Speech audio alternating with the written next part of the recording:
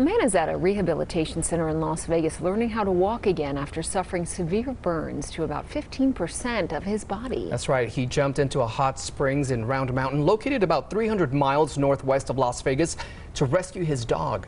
Joshua Peguero checks in on the man's progress. There's no way. There's just no damn way.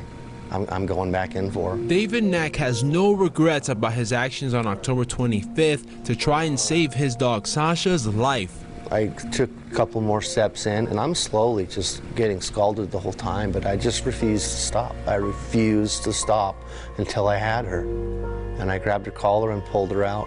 The incident left David with second degree burns below his knees. He was visiting a friend's place when his five year old German Shepherd jumped into a hot spring. I looked at her, and then I saw her start to go limp, and I was just like, you know what? There's just, there's no way.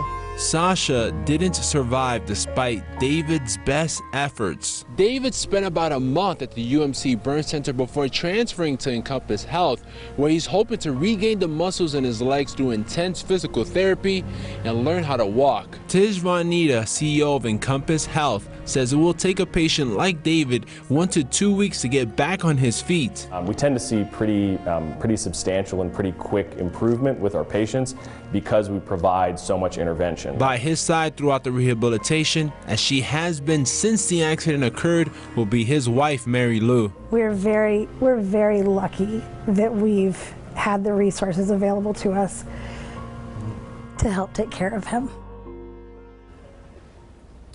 Well, after our original story aired, Mary Lou says a couple who breeds German Shepherds offered to donate them a new puppy.